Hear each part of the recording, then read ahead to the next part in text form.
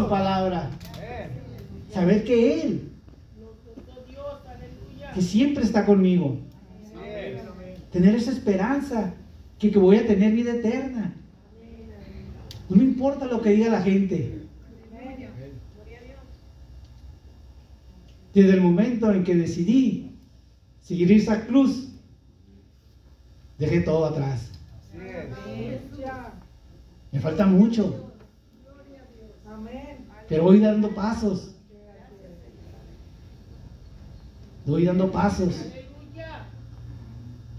Porque estoy firme y seguro. Firme y seguro. Fíjese lo que dice Hebreos 6:19. Vayamos a la palabra. Acompáñenme a mí en Hebreos 6:19. Gloria a Dios, hermanos. Gloria a Dios. Alguien que me lo lea, por favor. Hermano Gil, maestro Gil. La cual tenemos como segura y firme ancla de la, del alma y que penetra hasta dentro del velo. Amén. Bendita palabra. Cual tenemos como segura y firme ancla del alma y que penetra hasta dentro del velo. Amén. Es firme, segura, como el ancla. Y penetra hasta dentro del velo. ¿Y el velo? ¿Qué significa? Lugar santo. Santísimo. Exactamente. Es estar con la presencia de Dios en lo más profundo. En el santísimo lugar santo. ¿Ven?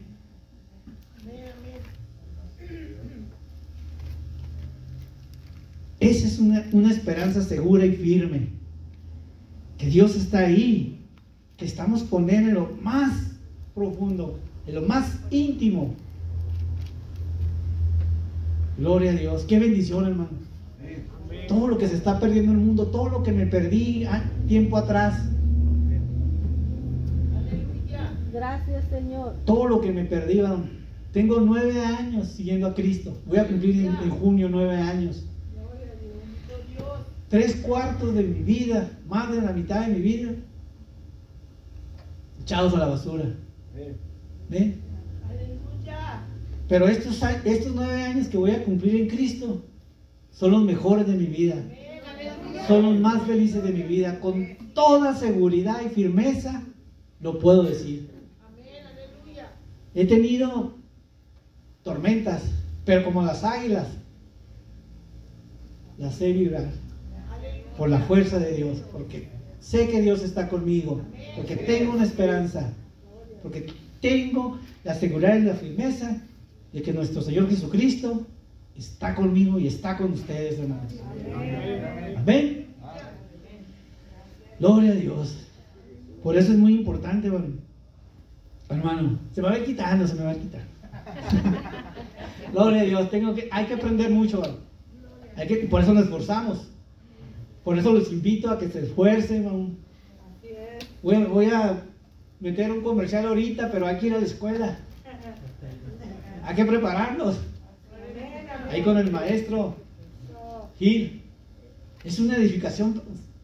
Es una edificación para nuestras vidas. Es una oportunidad que se les dio a todos. A todos los de aquí se nos dio la oportunidad. Pero van a venir, van a, van a venir nuevas generaciones, van a venir nuevos alumnos, van a venir más maestros. Pero ahí estamos, preparándonos. Porque una de las cosas que yo miro en, en por qué vinimos al mundo es, es- es mi, es mi forma de pensar. Nos venimos a preparar para la vida eterna. Amén. Aleluya. A eso venimos, a prepararnos para la vida eterna. Ese es mi sentir. Prepararnos para la vida eterna. Cuando, tú, cuando nosotros entendamos eso, gloria a Dios. Gloria a Dios. Porque vamos a tener Imagínense. Imagínense. Gloria a Dios. Gloria a Dios. Cuarto paso.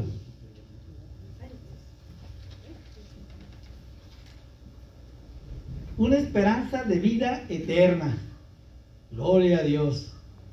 Hablando de la vida eterna. Una esperanza de vida eterna. Pero antes de que nos vayamos a ese versículo, hermanos,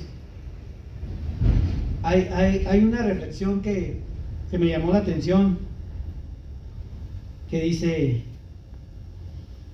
porque me gusta mucho agarrar este, las reflexiones que, que, me gustan, las agarro para mí, las agarro, las, las frases, las agarro para mí, y este, que me gusta, me gusta leer las frases y, y siento que son para, para uno, para, para que uno reflexione y vea uno las cosas de otra manera, porque a veces no le cae al 20 cuando te dicen de una forma y hay veces que, es, por eso a veces me gusta mucho correr, porque cuando estoy corriendo medito mucho en Dios, en la palabra de Dios, porque tengo tiempo, voy corriendo y corro una hora, hora y media y voy corriendo y voy pensando, Dios me está hablando, voy meditando voy pensando qué, qué, fue lo que hablaron, qué es lo que, lo que puedo hacer, qué puedo hacer de edificación en mi vida, qué es lo que no debo hacer, tumbar lo que, lo que Dios...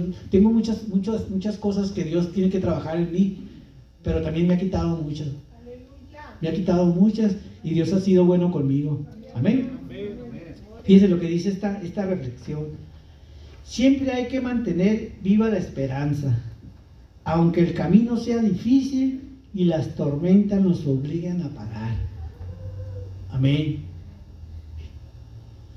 El, el, el, águila es, un, es, una de, las, de las aves o es un, que, que, él se siempre anda solo, siempre anda solo, el águila si lo ven siempre anda solo y va a unas alturas donde tú no te puedes imaginar, donde nadie va, el, águila puede ir hasta lo más, más para arriba por eso cuando él pierde su plumaje, cuando se le pierden sus garras, se va y se tiene que, ir a, lo más alto y otra vez a rascarse, a picarse el pico para que vuelvan a crecer otra vez. Las alas, las garras, el pico, siempre tiene que estar allá en lo más alto. Para que ya vuelve otra vez con nuevas fuerzas. Por eso nuestro Señor Jesucristo nos pone de ejemplo el águila y tendrá nuevas fuerzas como el águila. Levantará las, las alas como las águilas. Caminarás y no te cansarás. Ven, caminarás y no correrás y no te fatigarás. Pero lo que voy, que, que, el águila es el único que se puede meter a la, a, la, a la, tempestad, a la lluvia, a la tormenta. Él la desafía. Él desafía la tormenta, los peligros. A veces dice que, que, que bonito que, que él va y uno nomás está lloviendo y luego se esconde. No quiere que ni parecemos gatos, no quiere que nos caiga ni una gota de, de, de agua. Amén. Bueno. Amén. Ok, hermanos, entonces vamos a leer, eh, dice la esperanza de vida eterna, vamos a ver a Tito 3.7. Acompáñenme a mí en esa cita, por favor.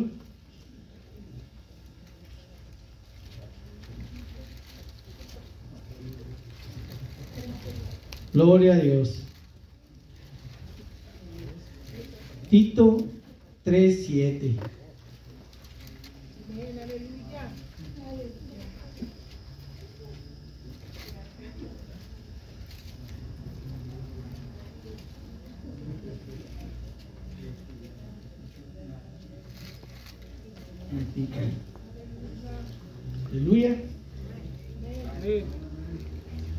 Tito 3:7.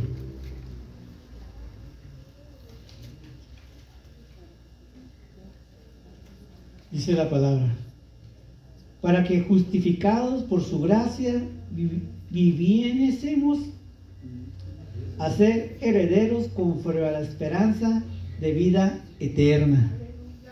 Amén.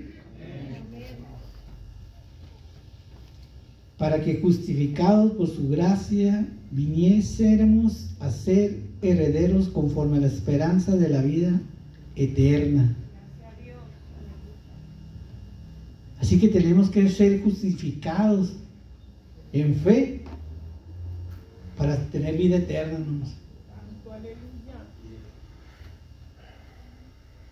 Así es, hermano. ¿Qué es, qué es otra cosa más que solo la salvación por la gracia, gracia mediante la fe hace posible la vida eterna? Amén. Solo la salvación por gracia mediante la fe hace posible la vida eterna. Por eso tenemos que buscar esa, esa esperanza, esa vida eterna.